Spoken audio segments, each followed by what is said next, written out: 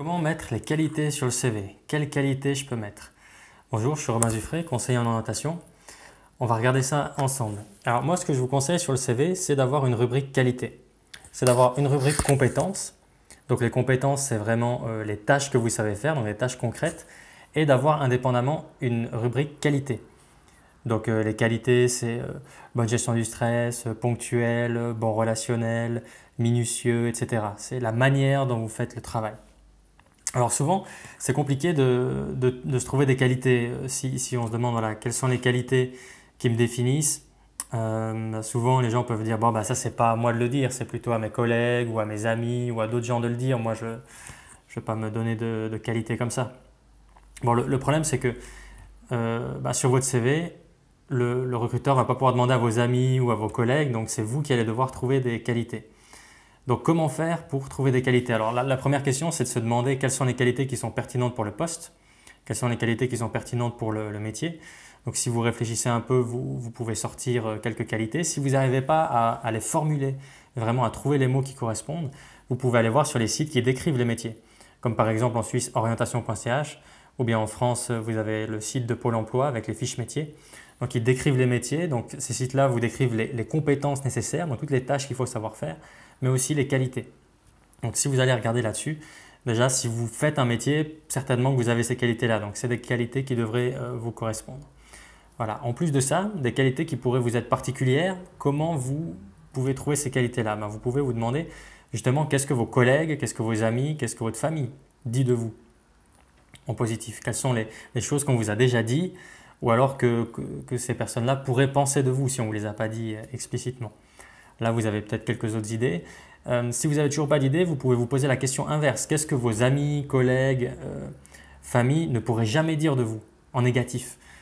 Euh, Par exemple, si vous êtes quelqu'un d'assez timide, par exemple, on ne pourra jamais dire de vous peut-être que vous, venez, que vous êtes arrogant et que vous, vous parlez tout le temps, que vous parlez fort, etc. Donc ça, c'est quelque chose que, que jamais personne vous a dit et que vous pensez qu'on ne pourrait pas dire de vous, simplement parce que vous ne l'êtes pas. Donc si vous prenez ça en positif, bah, vous pourriez dire que vous êtes discret, par exemple. Ça, c'est une qualité positive. Euh, donc ça, c'est une autre manière de se trouver des, qualités. Et euh, sinon, la troisième chose, c'est que disent vos certificats de travail.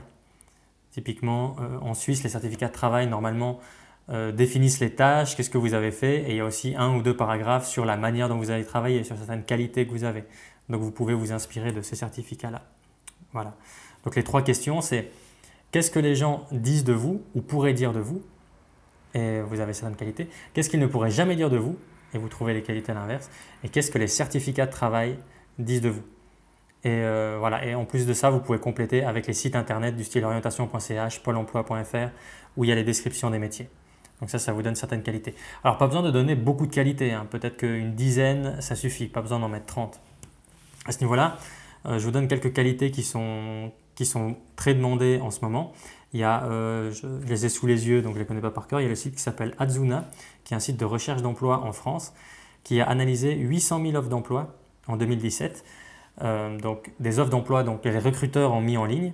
Et dans ces offres d'emploi, ils demandaient certaines qualités. Et ils ont listé les 20 qualités qui sont les plus demandées euh, en France en ce moment. Et du coup, dans, le monde francophone en général, c'est des qualités qui sont, qui sont assez universelles. Donc je vous les donne, je ne les connais pas par cœur. Alors la première, c'est la rigueur. La deuxième, c'est l'autonomie. La troisième, c'est le dynamisme. Donc ça, euh, tout ça, je vous le mets en bas, hein, vous pouvez regarder dans la description. Ensuite, les autres, je vous les donne sans le classement. Donc c'était rigueur, autonomie, dynamisme. Ensuite, on a esprit d'équipe, la motivation, la créativité, avoir un bon relationnel, être passionné, euh, la réactivité, force de proposition, c'est-à-dire un peu proactif, on réfléchit, on propose des choses, on amène des choses.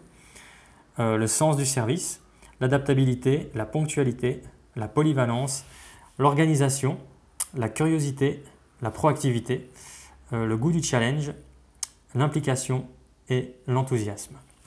Voilà, donc toutes ces qualités, vous les retrouvez classées dans la description. Donc avec ces différentes choses, voilà, essayez de trouver euh, des, voilà, une liste de qualités, peut-être d'une dizaine de, qualités. Voilà, si vous avez des questions par rapport à ça, ben, vous pouvez me les poser dans les commentaires. Euh, si vous êtes actuellement en recherche d'emploi, j'ai créé pour vous un PDF que vous pouvez télécharger gratuitement en dessous de cette vidéo pour vous aider à, approfondir ce sujet-là et aller plus loin dans votre recherche d'emploi pour vraiment vous distinguer des autres. Et euh, voilà, si cette vidéo vous a été utile, n'hésitez pas à mettre un petit pouce like et à vous abonner à la chaîne. De cette manière, vous recevrez euh, les vidéos. Et ben nous, on se voit dans une prochaine vidéo. D'ici là, ne lâchez rien, ne négligez rien et ça finira par passer. À tout bientôt.